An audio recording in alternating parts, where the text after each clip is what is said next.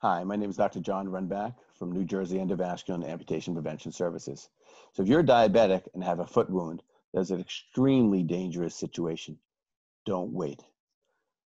Diabetic foot wounds have a tendency to develop quickly, to worsen quickly, and can that, that can lead to progressive gangrene and amputation if not identified and treated.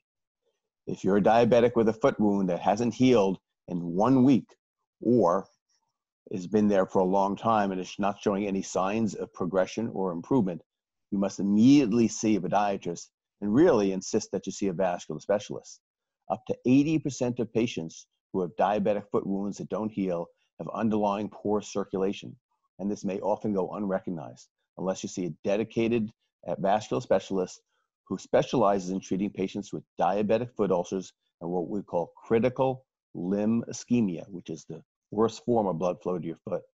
Those specialists, somebody like me, can identify the disease properly and make sure that you get the best treatment for you.